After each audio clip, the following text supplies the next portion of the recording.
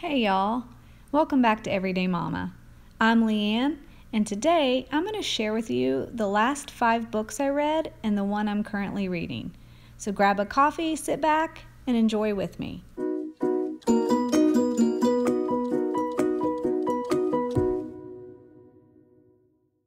I'm going to share with you these books in the order that I read them, not necessarily in the order of my favorites. I want to let you decide that for yourself. I read this book in 2016. It's entitled I Love You, Ronnie, and it's by Nancy Reagan. The reason I love this book is it shows a more personal side to the presidency, how it affected him and his wife and those around him through letters that he wrote to her.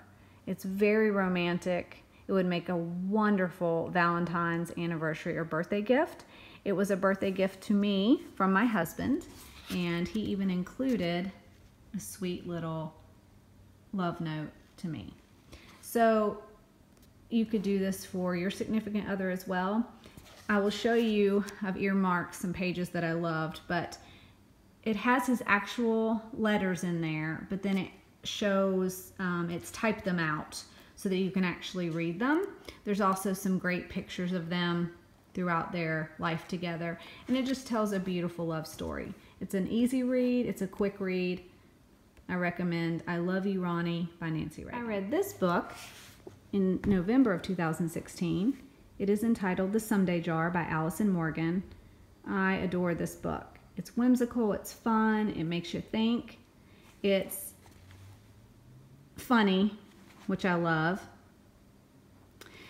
I had real book struggle with this book. I don't know if you've ever heard of that term before, but I consider book struggle to be I never wanted to put the book down, but I never wanted the book to end. So I tried to prolong reading the chapters. I tried to slow myself down, but I would read too many in one night, and I just wish this book had lasted longer. It was really good. So it's a little bit of romance, a lot of whimsy, and a lot of heartfelt thought in it. Skipping to September of 2018, I was recommended by my friend Heather, thank you Heather, to try out Behind Her Eyes by Sarah Pinborough. And this is way out of my element. Like, I don't usually read stories in the genre. It is dark, it is mysterious, there's a lot of suspense in it. It has a wowzer of an ending. So if you like books like that, you will love this one. My husband and I read it together as part of our in-home date nights. And if you'd like to see more on that video on how we spend less money and spend more time together, then you can check out that video in my description box below.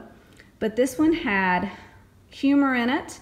It had darkness, it had um, suspense, like I said. You're gonna wanna read this with somebody because you're gonna wanna talk about it. We loved being able to read a chapter together and then predict what we thought would happen next and then predict what we thought would happen at the end. The next book I read during our RV vacation this summer. If you'd like to see vlogs on our trip, you can find it the link in the description box below. This one is called God is in the Pancakes, and it is written by Robin Epstein. She's a comedian from Los Angeles, and she decided to write a book. It's a young adult book, easy read, very, very funny. Took me back to high school. A um, little bit of a love story going on, but more matters of the heart. And it's not necessarily a religious book, it's what you make of it. And it really has a very positive message throughout it. It also has a little bit of twists and turns and um, gets a little complicated in there, which I like. So check out God is in the Pancakes by Robin Epstein. This next book I read a couple weeks ago, August of 2019. And this book is a children's book, and it was recommended to me by my eight year old son. Guys, if you want to show that reading is important, read what interests your child. You will learn more about your child. You will learn how they think about you by what they recommend. My son picked this one out for me because the people in the book go to visit a cabin in the woods, and he knows that's one of my favorite places in the world is to be in the middle of nowhere in a cabin. So I really loved that he knew that about me, and that when he read this, it sparked an interest for him to share it with me. It was very precious for him to do that. So I took the time to read it. Obviously, very easy to read, but such a cute story. This is called Sugar, Gummy, and Lollipop, and it is by Ellen Miles. She wrote an entire series called The Puppy Place, and she's continuously adding new um, books. This is such a cute series to read with your child or to start off chapter readers because it's interesting. Everyone loves dog stories.